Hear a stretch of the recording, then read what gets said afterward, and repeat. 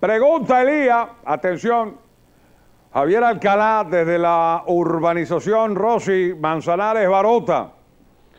Él plantea lo siguiente, estamos ahorrando un fondo de reserva en dólares, pero cada vez podemos comprar menos materiales de limpieza y bombillos. Ay, Elías, mira lo que te pregunta Javier Alcalá, ¿seguirán las cosas así? ¿Qué le respondes, Elías?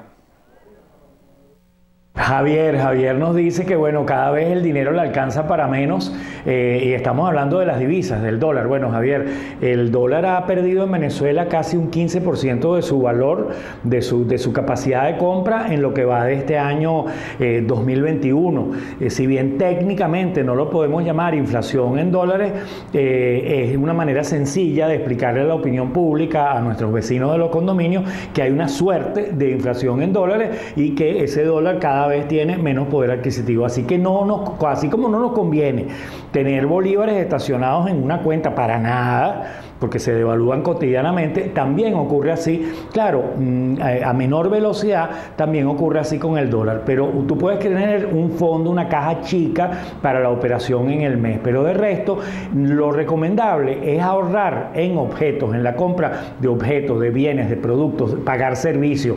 Eh, ¿Tienen ustedes un excedente en dólares? Bueno, eh, vamos a comprar los bombillos que necesitamos para los próximos seis meses, o las bolsas negras de basura, o el material para desinfectante y los tapabocas para nuestro personal eh, de vigilancia y también para nuestra conserje o vamos a adquirir un servicio de estos de ayuda en materia de salud que es eh, telemedicina, servicio médico a, domicilio y también el traslado en ambulancia para nuestra conserje y su familia, o sea, hacer inversiones. Esa es la idea. No tengan un fondo de reserva en dólares porque la hiperinflación en bolívares y la inflación en dólares les van a comer ese intento de ahorro de ustedes. Inviertan en bienes, en recursos, en servicios para el condominio. De todos modos, de ese tema vamos a hablar el sábado 11 de diciembre en el Encuentro Nacional de Juntas de Condominio que tendremos, que será transmitido a través de radiocomunidad.com